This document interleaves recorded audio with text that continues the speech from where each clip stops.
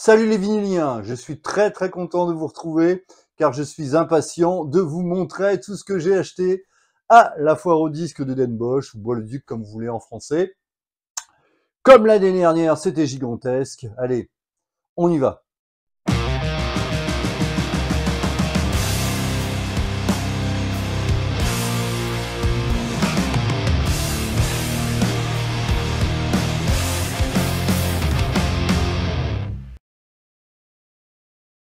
Cette convention a eu lieu le 10, 11 et 12 novembre. Le 10 novembre étant réservé aux professionnels et le 11 et 12 aux amateurs, on va dire. Et moi, j'y suis allé le 11 novembre, le samedi. Comme l'année dernière, j'y suis allé avec Astra de la chaîne Astra Vinyl. C'est devenu, bon, on est devenu amis, hein, quasiment. Euh, toujours un plaisir euh, d'être avec lui et de fouiller les bacs mais également avec Zazou, hein, vous connaissez peut-être euh, Zaz, mon acolyte euh, de festival, hein, on va souvent au Hellfest et puis on va voir souvent des concerts ensemble. Il s'est prêté au jeu cette année et je crois qu'il a très apprécié. Malheureusement, deux grands absents, Nono, qui devait venir, mais il a eu des petits problèmes, on va dire, techniques. La grande absente pour moi, ma femme Carole, car elle ne se sentait pas bien le matin en se levant pour partir là-bas. Et donc, elle a préféré rester. Pour moi, c'était vraiment euh, quelque chose de difficile, déjà parce qu'on aime vivre ce moment à deux. Et puis, euh, avec ses petites mains, on se met toujours côte à côte et on va deux fois plus vite à regarder dans les bacs. Alors, de Dunkerque à là-bas, il faut à peu près trois heures de route.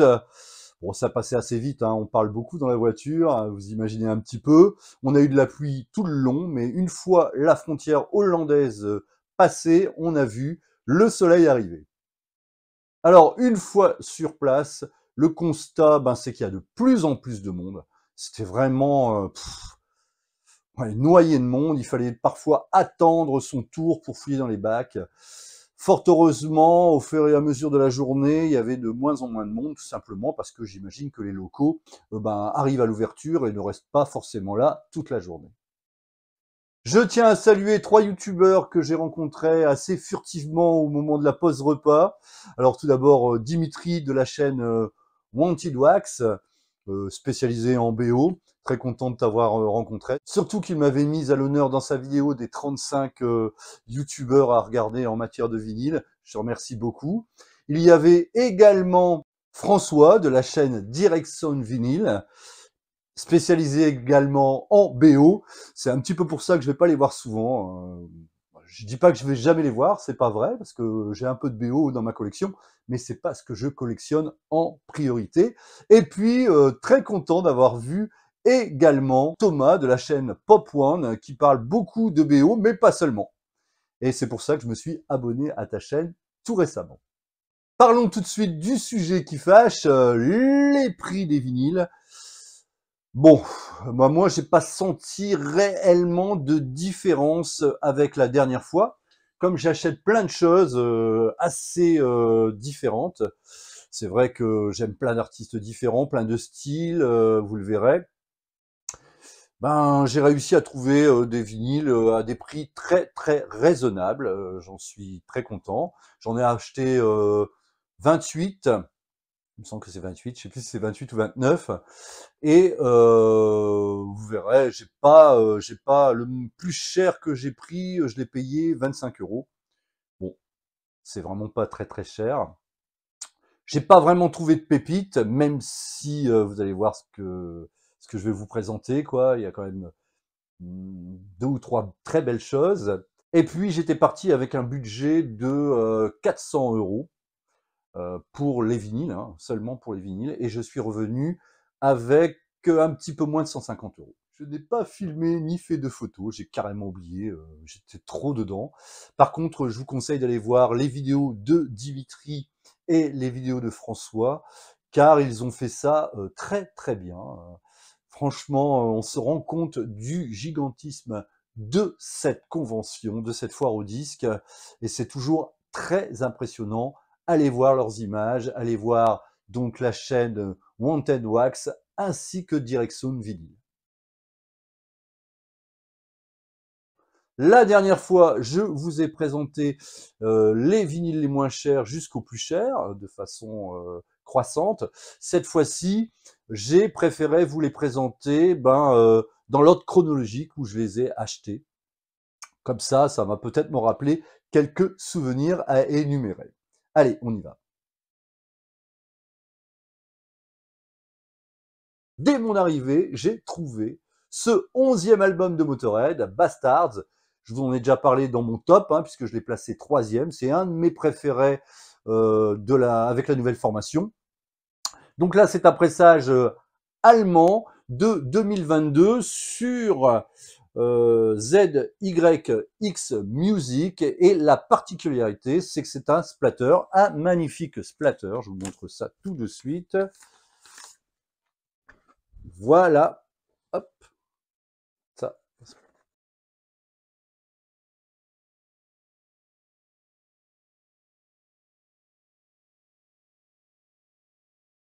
Un peu plus loin, j'ai trouvé ce Aerosmith Down with Mirrors de 1985. Alors cet album est particulier puisque euh, nos compères se retrouvent, hein, puisque Joe Perry et Brad Whitford étaient partis de Aerosmith au début des années 80. Et donc c'est un peu l'album de la reformation, c'est celui juste avant Permanent Vacation. Permanent Vacation est un album euh, avec plein de hits et où ils auront retrouvé euh, le chemin du succès. Par contre celui-là, il est beaucoup plus... Enfin, il est moins connu, mais je le trouve très très bon très proche d'un Aerosmith des années 70. Euh, il y en a beaucoup qui disent qu'il est un peu un peu terne comme ça, musicalement parlant, euh, que c'est pas euh, c'est pas enfin voilà, même s'ils se sont retrouvés, même si c'est pas mauvais, c'est pas terrible. Moi je l'aime beaucoup, réécoutez-le, ça vaut vraiment le coup. Alors c'est un pressage européen, un pressage hollandais de l'année de sa sortie 1985 sur Geffen. Alors la pochette est inversée. Il paraît que d'ailleurs, il s'est pas beaucoup vendu à cause de ça, parce que les gens dans les bacs ne reconnaissaient pas que c'était un album d'Aerosmith. C'était pas forcément très très très intelligent, surtout que au verso de la pochette, ils l'ont mis à l'endroit, ils auraient dû faire le contraire. Un peu plus loin, un artiste que je vous présente euh, quasiment à chaque vidéo en ce moment, Johnny Winter. L'album s'appelle Saints and Sinners. Il date de 1974 et c'est très bon. J'ai flashé parce qu'il reprend Stray Cat Blues des Rolling Stones, extrait de, euh, de, de, Beggar's Banquets, qui est un superbe album des Stones, et la reprise est magnifique. Je connaissais une reprise aussi de Soundgarden, mais celle-là vaut la reprise de Soundgarden, c'est magnifique. Il n'y a pas que ça comme reprise. Donc, très très content de l'avoir trouvé pour 5 euros. Le Aerosmith, je vous l'ai pas dit, je l'ai payé 7 euros. Vous voyez, c'est quand même des prix très raisonnables. C'est un pressage hollandais sur CBS de l'année de sa sortie et c'est son sixième album. Dans la même allée, à un autre vendeur, je lui ai pris ce 38 spécial, le troisième album. Je vous avais présenté dans ma vidéo de Bruxelles le deuxième, d'ailleurs je me suis trompé, puisque euh, j'avais dit que c'était le premier alors que c'est le deuxième. Il y a il y a un, abonné qui m'a qui m'a corrigé la faute. Merci à toi. Donc le troisième qui s'appelle, je me souviens plus, euh, Rocking into the Night, tout simplement. Très très belle artwork, recto comme verso. Par contre, le contenu, euh, ben, j'aime moyennement parce que ben, ça devient un petit peu euh, mainstream, un peu un peu FM. Et euh, je crois plutôt que je vais acheter le premier et je vais arrêter là. Mais je vais quand même le garder parce que la prod, la prod est magnifique, c'est sublime. À écouter, c'est quand même, euh, c'est quand même très très très plaisant. Donc c'est un pressage, euh, c'est un pressage hollandais aussi sur A&M Records de 1979 de la sortie de l'album. Un autre vendeur, je lui ai pris deux disques, dont celui-là, It's a Beautiful Day, ce disque, je l'ai acheté parce qu'il y a pas mal de temps, euh, Joseph Isola l'a présenté sur sa chaîne et il avait décrit euh, la musique de ce groupe, hein, puisque c'est un, album éponyme, c'est leur premier album, It's a Beautiful Day. Et effectivement, dès que je l'ai mis sur la platine, c'est tout simplement magnifique. Donc c'est un groupe euh, folk psyché de San Francisco qui ont sorti trois ou quatre albums, je crois Et c'est vraiment très très beau. Il y a le premier titre, White Bird. on pourrait l'écouter en boucle. C'est magnifique, c'est joyeux, c'est tout simplement beau. C'est vraiment beau. C'est presque, oui, un peu céleste comme ça. On dirait qu'on célèbre la terre. Enfin, je sais pas quoi, mais en tout cas, ça m'a fait euh, un sacré effet dès que je l'ai écouté. Très content de l'avoir pris, surtout qu'il était à 8 euros et qu'il me l'a laissé à 5 euros parce que j'ai pris un autre disque. C'est un pressage, malheureusement pas 1969, c'est un pressage de 1979 sur euh, CBS. Et euh, bon, la pochette est plutôt VG, mais par contre le disque lui est en VG+. C'est un beau Getfold. Très content d'avoir trouvé ça. Merci Joseph. Encore, un, encore une belle, une très belle découverte, très belle artwork d'ailleurs, très belle pochette de disque.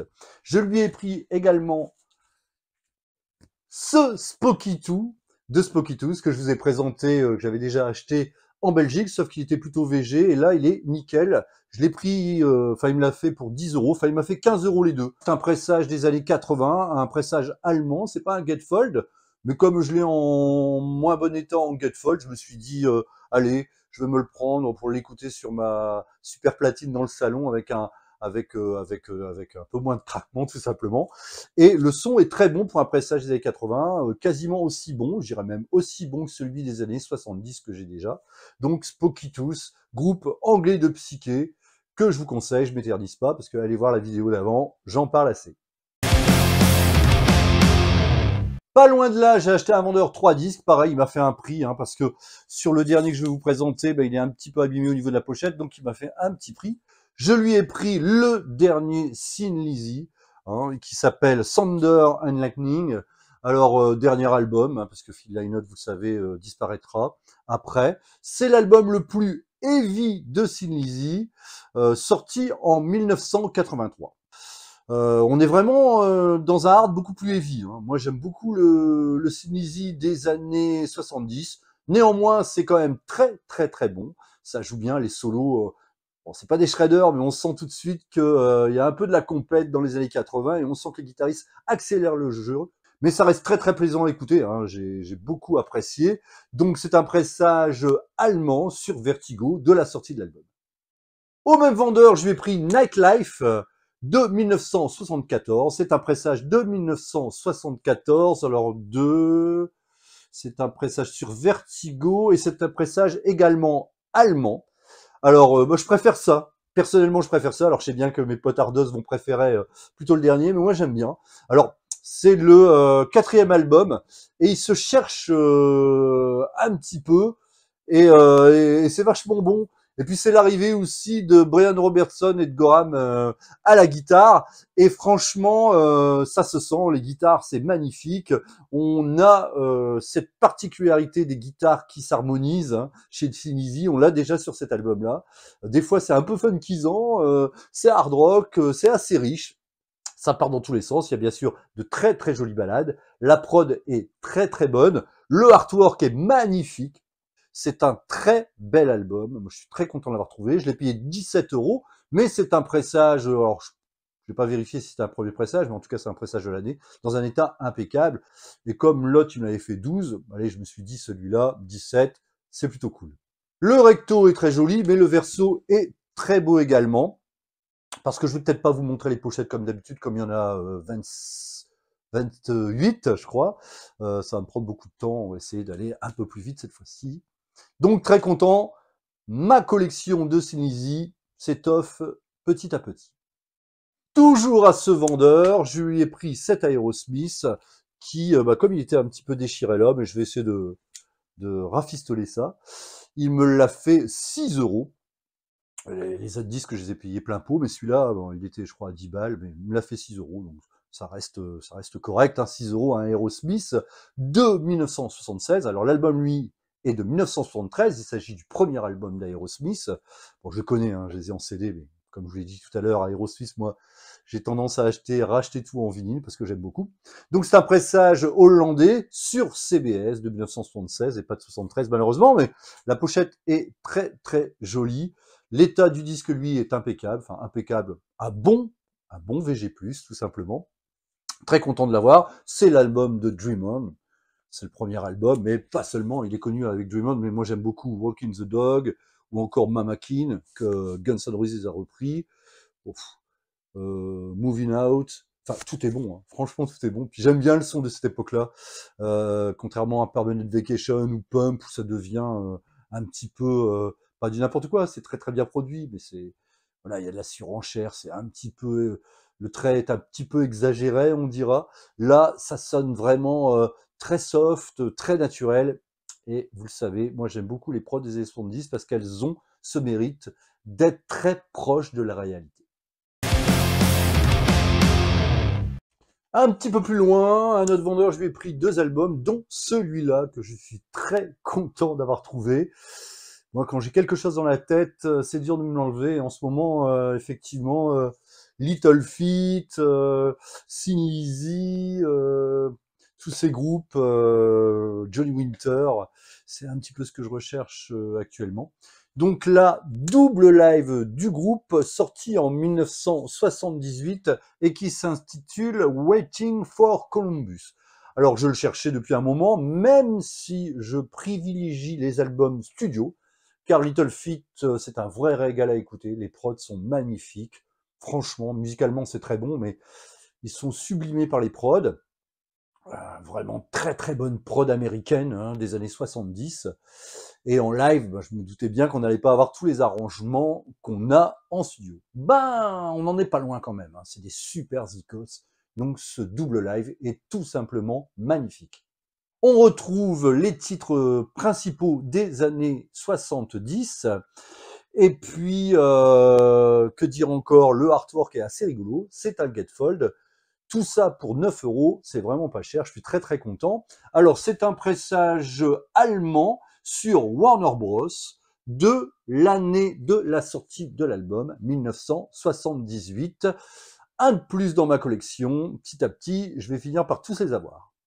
Au même vendeur, je lui ai pris ce deuxième Rock Goddess, hein, j'avais le premier, il manquait le deuxième, c'est chose faite. Alors je l'ai payé 14 euros, 9 euros, ça faisait 23 euros, il m'a fait 20 euros les deux, donc euh, je considère que j'ai payé cet album 10 euros ou 11 et l'autre 10 euh, ou 9, comme vous voulez. Allez, 10 et 10, c'est bien. Donc deuxième album, très content. Il y avait une petite, euh, petite initiale au stylo là que j'ai réussi quasiment à gommer. Mais il est dans un super état. La pochette est très très belle. Alors, quant au contenu, bah, je préfère le premier. Je trouve que euh, sur celui-là, la voix, elle est très exagérée. Enfin, je trouve que c'est surjoué un petit peu au niveau de la voix. C'est un petit peu dommage. Enfin, je l'ai écouté qu'une fois. Je vais le réécouter. Enfin, j'avais écouté les années 80, mais mon écoute a un petit peu changé depuis. Donc, c'est un pressage hollandais sur A&M Records de l'année de sortie de ce disque, 1983. J'ai oublié de vous dire le titre. Il s'intitule Elle Hath No Fury. Donc, euh, bon, je suis quand même content de l'avoir trouvé. Le artwork est vraiment très très joli. On retrouve euh, nos trois jolies anglaises euh, à l'arrière, dont les sœurs Turner. Bon, je pense que je vais quand même le garder, hein, parce que c'est quand même assez mythique des années 80 pour moi. J'aimais beaucoup. Allez, on va le garder celui-là. Un peu plus loin, quand il y en a deux, il y en a trois. J'ai pris bah, justement ce troisième album de Simizi qui s'intitule, attention, c'est un titre à rallonge, Vagabonds of the Western World. Je l'avais déjà en CD, mais je suis très content de l'avoir trouvé en vinyle parce que bah, je les recherche tous, les CDZ. Donc, très très bon disque, hein. c'est le fameux album avec euh, euh, Whiskey in the Jar. Puis alors, j'aime beaucoup le, titre Little Girl in Bloom. Mais alors, euh, un de mes titres préférés de Sinisi est sur ce disque. Il s'appelle The Rocker et j'adore ce titre. C'est un album de 1973. Là, il s'agit d'un pressage de 1975, un pressage allemand sur Nova. Donc peut-être un petit pressage, euh, on va dire économique, puisqu'il n'est pas sur Vertigo. N'empêche qu'il sonne très très bien. Il doit plus en manquer beaucoup des Sinisi. J'adore le artwork. Vraiment très très bel artwork, un très bel album, aussi bien pour sa pochette que pour son contenu. Chose peut-être à préciser, euh, ça sera euh, le dernier album du Simizi des débuts, puisqu'après ils vont être quatre va arriver Goram et euh, Brian Robertson, un petit trou de mémoire, l'album que je vous ai présenté tout à l'heure. Très content de l'avoir trouvé. Un autre vendeur, je lui ai pris deux disques, pareil, il y en avait pour euh, bah, plus de 15 euros, je dirais. Il y en a un qui était à 10, l'autre à 7 euros. Donc 17 euros, il m'a fait 15 euros les deux. Alors, euh, le huitième album de Steppenwolf, on est en 1975 et ce disque s'appelle Our of the Wolf. Et euh, bah, je suis un peu déçu. Je trouve que la magie de Steppenwolf n'est plus là. Euh, c'est moins psyché, c'est plus hard rock, et puis c'est presque une parodie de même, quoi. Enfin, je, après, il faudrait que je le réécoute. C'est pas mauvais, hein. C'est pas mauvais. C'est pas mauvais du tout. Ça sonne même plutôt bien. Enfin, au, niveau de la prod. Mais euh, bon, il manque ce côté psyché euh, au niveau de l'orgamon. Enfin, il y a toujours de l'orgamon, mais il y a quelque chose qui a changé dans le groupe.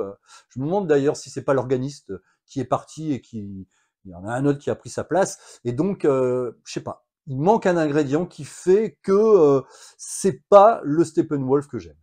Je ne sais pas encore si je vais le revendre ou si je vais le garder. En tout cas, c'est un pressage hollandais de l'année de sa sortie, 1975, sur Epic, avec un macaron euh, jaune. Je vais voir si je le garde ou pas. J'étais très content, j'avais payé 10 balles, j'étais très content de le trouver, puis bon, un petit peu déçu à l'écoute. Alors j'ai pris également ce vendeur, alors ce disque était à 7 euros, 7,50 euros, il m'a fait les deux pour 15 euh, euros, donc je considère que je l'ai acheté 5 euros. C'est un groupe qui s'appelle Phantom Rocker and Slick, vous connaissez peut-être, puisqu'il s'agit de la section rythmique des Stray Cats. On est au milieu des années 80 et les Stray Cats sont splittés, ils vont se reformer un peu plus tard dans la décennie. Mais en attendant, il faut bien gagner sa croûte. Donc la section rythmique des Stray Cats euh, décide de s'adjoindre un superbe guitariste en la personne de Earl Slick, hein, qui avait déjà travaillé avec Bowie surtout, mais également avec John Lennon, et puis il a fait pas mal d'albums solo, un super guitariste, j'adore son son d'ailleurs, et euh, bah, c'est plutôt réussi. Enfin ça, il s'agit du deuxième album qui s'appelle Cover Girl, d'ailleurs le artwork est assez sympa, hein, il reprend un petit peu la pochette d'un magazine, je trouve ça euh, assez réussi, l'idée assez originale. C'est le deuxième album, il est sorti donc celui-là en 1986, alors c'est un pressage US sur EMI, euh, EMI Record, EMI US. Alors euh, ça sonne un petit peu côte ouest, enfin c'est assez rock'n'roll, hein. c'est assez rock, rock'n'roll, un petit peu pop, euh, ce qu'il faut dans les refrains. Mais euh, ça sonne un petit peu palmier tout ça quand même. Hein. C'est un rock'n'roll assez assez West Coast, je dirais. Même si cette section rythmique des Stray Cats, Phantom et Rocker viennent de New York, il hein, faut le savoir. C'est très agréable. Néanmoins, j'avais le premier, c'est en dessous du premier. Je vous ai préparé le premier. Le premier, même la pochette est, bien sympa parce qu'on les voit tous les trois. Il y a même Keith Richard qui fait une apparition sur un titre. Le premier album est bien au-dessus du deuxième. Malgré tout, malgré tout, euh, bah j'aime bien. J'aime bien la voix. Alors c'est euh, c'est le contrebassiste des Stray qui chante. J'aime euh, j'aime beaucoup la voix. Et, euh, et puis euh, ouais, ça s'écoute assez facilement. Euh, bon, c'est couplet refrain, un petit pont, un bon petit saut de guitare, très rock'n'roll, tout ça, enfin dans la façon de faire et dans la musique aussi d'ailleurs. Hein.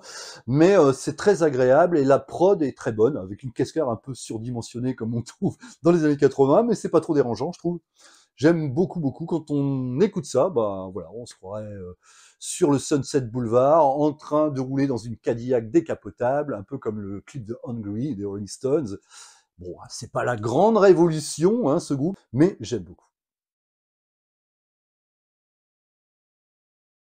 J'ai trouvé ce disque neuf que j'étais très très très heureux de trouver dans les bacs.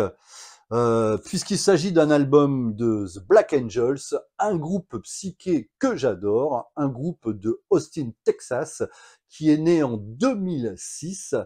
Et là, il s'agit de leur sixième LP. C'est leur dernier album, double vinyle avec une super pochette brillante, le Getfold pareil, ça fait un effet un peu miroir, un petit peu comme double platinum de Kiss, je sais pas si vous connaissez ce Greatest Hit. Donc sublime album déjà au niveau de la présentation Et le contenu, ben, euh, The Black Angels, quand vous voulez du psyché, du bon psyché très influencé de la fin des 60s, c'est ce qu'il vous faut, puisqu'ils sont très influencés du Velvet Underground, on va le dire, puisque même leur logo, c'est euh, un portrait de Nico, hein, qui avait joué avec le Velvet. Hein. Je vais vous montrer d'ailleurs, on le voit dans une sous-pochette, euh, ce fameux logo. Voilà, ça c'est un petit peu comme la langue des Rolling Stones, ils se représentent avec ça.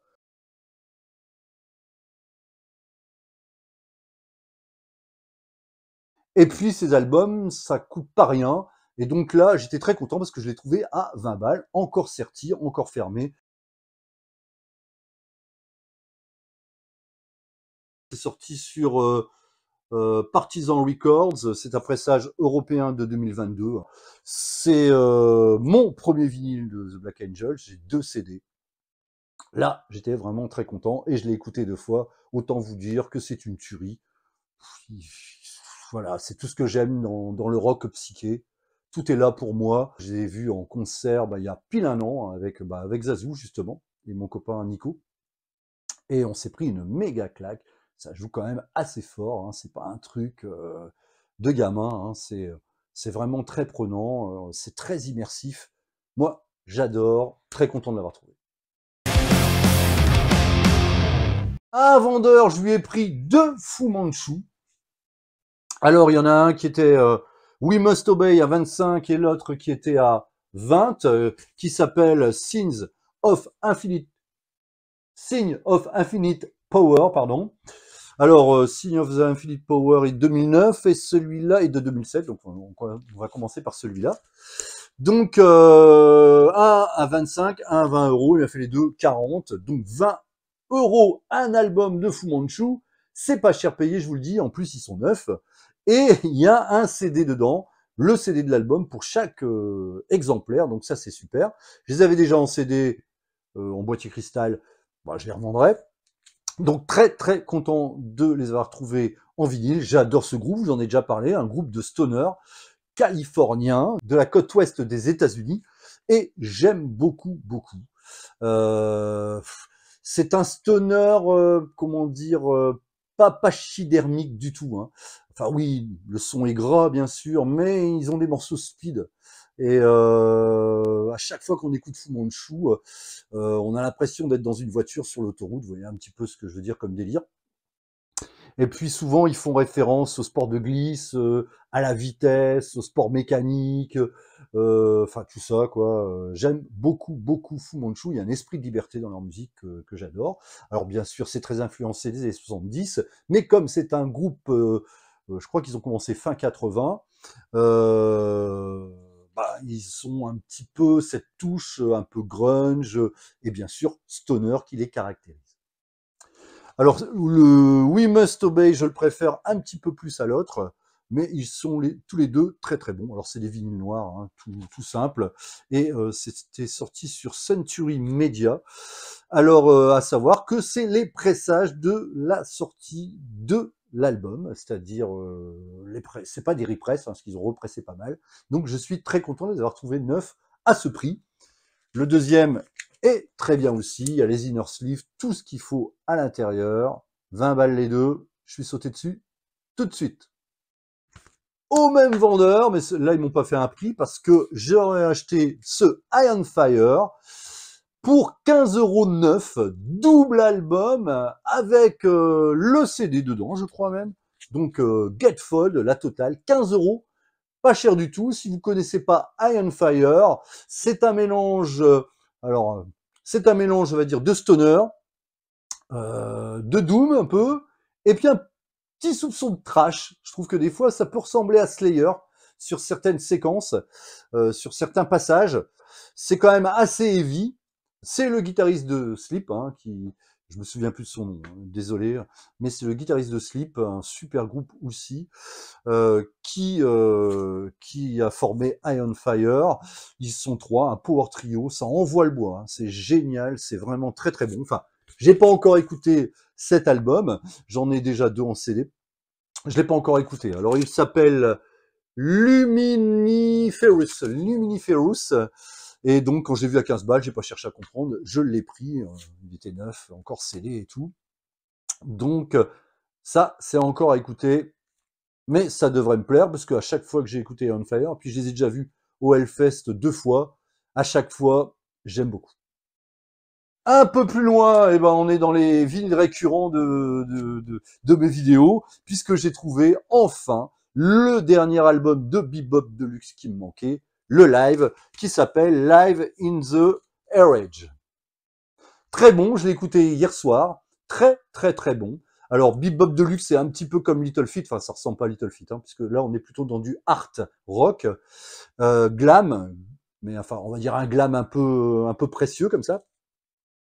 Et euh, ça n'a rien à voir avec Little Feet. Mais euh, là où ils ont un petit point en commun, c'est au niveau des arrangements des albums studio. C'est toujours super bien fait avec des super prods. Et j'avais peur qu'en live, ça soit moins bien. Eh ben pas du tout. C'est très très très bon. C'est euh, le guitariste et le guitariste chanteur est, magnifique. En live, il arrive à refaire ce qu'il fait en studio et je peux vous assurer que c'est c'est vraiment pas un manchot. C'est un super soliste entre autres et c'est très riche, même en live. Les breaks, tout est comme sur les albums studio, c'est assez impressionnant. Alors la particularité de ce live, c'est que ben c'est un simple, mais on a la suite sur un 45 tours. Voilà, donc c'est un double live avec un LP et un 45 tours. C'est assez rigolo, j'avais jamais eu ça. Avec un super inner sleeve également, avec des photos. Donc, euh, je sais que la photo de la pochette est tirée de Metropolis, euh, euh, du célèbre film de science-fiction de Fritz Lang, je crois, c'est ça, du, des années 20, il me semble que c'est des années 20. Très belle artwork, avec des photos également de Metropolis à l'arrière. J'aime beaucoup, très content. Alors, la petite histoire de ce disque, c'est qu'il coûtait 7 euros, ou 7 euros 50 ou 8 euros, je sais plus. Et donc, je tends un billet de 10 euros au gars, et il me rend 5 euros. Bah, choix. J'ai même rien négocié, il me rend 5 euros. À vrai dire, il n'avait pas la monnaie, il n'avait pas de pièces.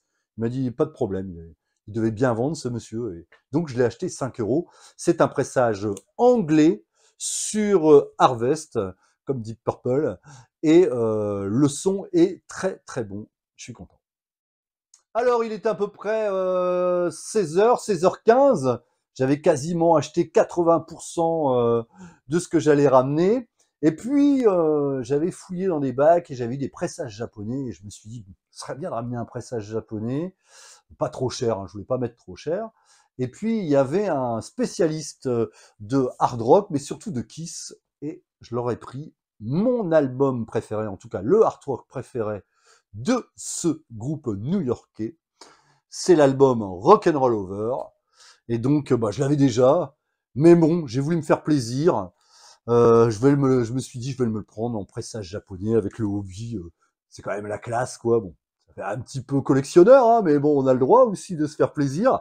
Mais n'empêche que par rapport à la version que j'ai, une version, euh, une version européenne, je crois que c'est une version française, c'est un Getfold je vais vous montrer ça quand même, avec des belles photos, les inner sleeves en japonais. Euh, très très très content de l'avoir trouvé. Je l'ai écouté, le son est magnifique. Vraiment avec une pochette euh, un peu comme les pochettes américaines, super ultra épaisse. Donc génial, sublime artwork.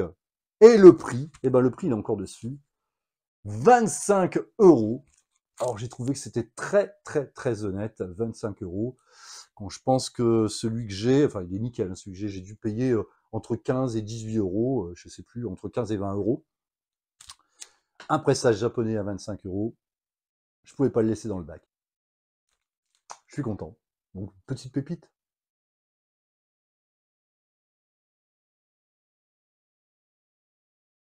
À ce moment-là de la journée, il était à peu près 16h30. Ça ferme à 17h on était un petit peu dispersés, hein, tous les trois, Zazou et Astra. Euh, on cherchait encore des, choses qui, nous manquaient, quoi. Et puis, euh, je vois, j'avais pas fait les bacs promo, je fais généralement avec ma femme parce qu'on va très vite. Et puis, je vois euh, une cinquantaine de cartons dans un stand et tout à 2 euros. il n'y aura pas du pressage de Kiss en, japonais, hein, pressage japonais, mais, mais vous allez voir, pour 2 euros, ça valait le coup quand même.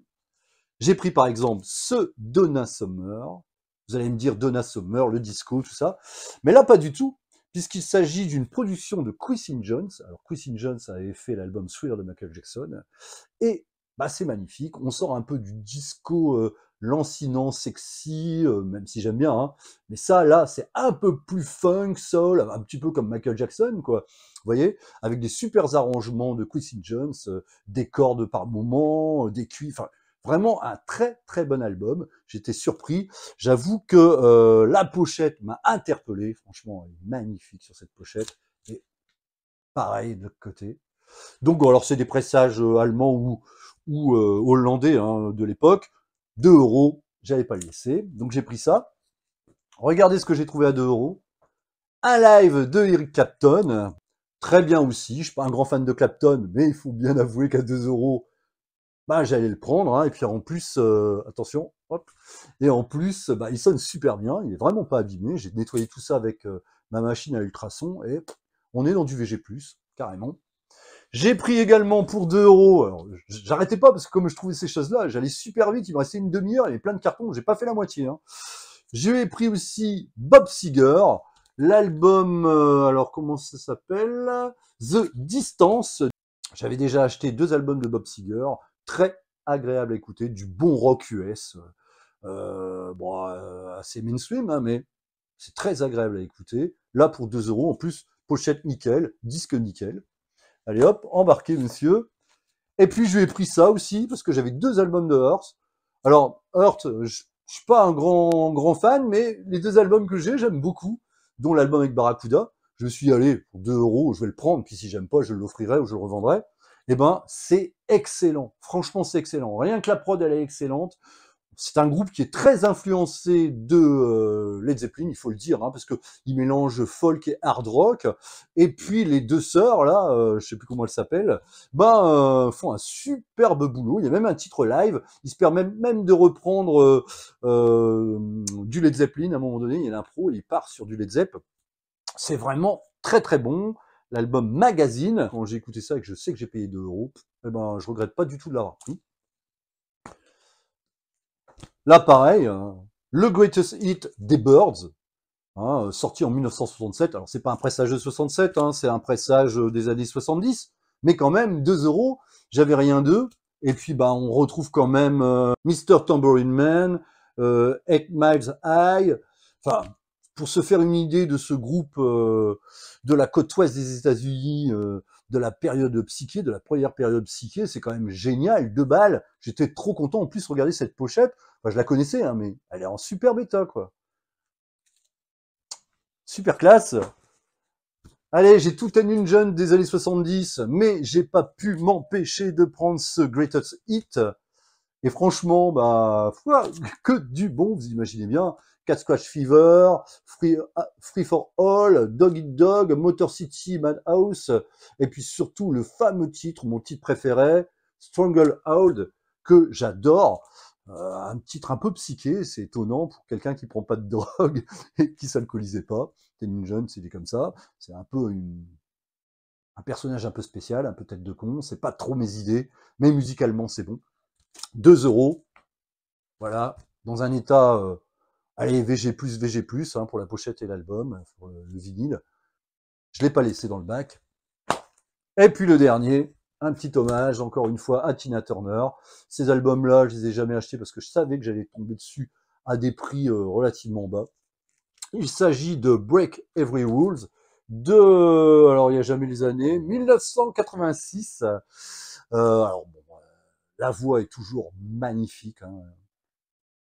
Au niveau de l'interprétation, il n'y a rien à dire. Les arrangements, bon, c'est un petit peu rock, synth pop, voilà, mais pour 2 euros, je suis quand même content de l'avoir trouvé, moi étant fan de Tina Turner, enfin sur toute sa période 70s et 60s. Bah, la période 80, j'aime un peu moins, mais à deux balles, je le prends tout de suite. Vous voyez, quand on fouille bien à cette convention, on trouve encore du vinyle pas trop cher. C'est un peu plus compliqué pour ceux qui recherchent vraiment euh, euh, des vinyles dans un style bien défini. C'est plus compliqué parce que ça se raréfie les disques d'occasion quand on cherche vraiment un truc bien précis, et obligatoirement, les tarifs augmentent. Alors c'est un vrai bonheur, cette convention. J'espère y retourner euh, au printemps et je vais essayer de m'organiser pour y aller deux jours cette fois-ci. Je voulais remercier Zazou, mon pote, de m'avoir accompagné à ce magnifique pèlerinage. Et puis euh, également Astra, hein, on est devenu amis maintenant. C'est vraiment quelqu'un de très intéressant avec une très bonne culture. Et puis ce qui nous euh, relie vraiment euh, au-delà du hard rock et du heavy metal, c'est bien sûr qu'il aime le high energy, hein, qui est euh, surtout représenté par ces groupes scandinaves, Turbo Negro, Glucifer, je cherche des noms, D4, Helicopters, etc. D'ailleurs, je le remercie parce qu'il m'a encore fait des cadeaux et pas n'importe quoi comme cadeau. Hein. C'est pas des cadeaux à, un franc. Je vais vous chercher ça tout de suite. Tout d'abord, tout d'abord, il m'a offert ce Turbo Negro Apocalypse Dune en repress, un disque euh, mythique du High Energy, peut-être euh, le disque mythique ou en tout cas un des trois disques mythiques de cette vague. Je vous le conseille, euh, c'est un pressage pour les 30 ans. Merci, merci beaucoup Astra. Et puis, il m'a ramené aussi de Paris, je le voulais. Et puis, il a fini par me l'offrir, c'est vraiment très gentil. Betty Davis, euh, une super nana qui, c'est le cas de le dire, euh, merci Michel Jonas, une super nana qui faisait du funk au début des années 70, et puis pas seulement, elle a continué un peu. Malheureusement, elle n'a pas eu de succès, et euh, mais c'est hyper bon, vraiment très très très bon. C'est du funk hyper brut, encore bien tâté de rock, avec des guitares, une section rythmique d'enfer. Alors euh, Betty Davis, parce que tout simplement, euh, c'est, elle a été mariée à Miles Davis. Et je pense même que c'est lui qui l'a un petit peu poussé à faire de la musique. C'est une voix extraordinaire pour vous situer un petit peu, quand on prend Tina Turner, bah, Betty Davis, c'est encore plus tripé que euh, Tina Turner. C'est vraiment, euh, très rentre-dedans. Pour ceux qui n'aiment pas trop ce genre et qui aimeraient bien euh, y rentrer, passez par ce premier disque. Hein, c'est un pressage US, un repress récent. c'est pressé que là-bas, donc on ne peut pas le trouver autrement qu'en pressage US, donc ça coûte un petit peu cher, mais ça vaut son pesant d'or. Merci Astra pour ces deux cadeaux. Vraiment des compères géniaux. Alors cette euh, foire au disque euh, à Bois-le-Duc, eh ben, me fait un petit peu euh, bouger, changer d'état d'esprit, car j'ai envie de moins acheter sur le net, hein, parce que le net, il y a toujours les frais de port, tout ça, et puis les tarifs parfois sont très exagérés, je pense à Discogs. Euh, moins acheté en foire au disque euh, également, parce que il n'y a pas beaucoup de choix, c'est petit, puis parfois on revient avec des choses qu'on ne voulait pas vraiment, et plutôt me concentrer et économiser pour aller là-bas, car là-bas, ben, on a ce qu'on veut, c'est vraiment un Eldorado du vinyle, pas seulement, il y a du CD également. Je pense que maintenant, ça va être ma priorité. Bon, j'irai quand même dans les foires au disque euh, environnantes, hein, Dunkerque, Calais, peut-être un petit peu Lille, mais pas plus de deux ou trois euh, dans l'année, puisque euh, euh, il m'arrive de vendre. C'est comme ça un petit peu que j'autofinance ce voyage. Mais effectivement, je vais bouger un petit peu de position, à part pour les vinyles neufs. Hein, moi, j'y vais surtout pour les vinyles d'occasion. Donc, Bois-le-Duc, Den Bosch, restera pour moi ma place favorite de prédilection pour l'achat de mes futurs vinyles. Voilà, cette vidéo touche à sa fin. Je m'excuse un petit peu, encore une fois, de la longueur, mais vu la grandeur de l'événement, je ne peux pas faire ça en 5 minutes. Vous allez me comprendre, j'imagine. Et donc, je vous embrasse très fort, les vignes.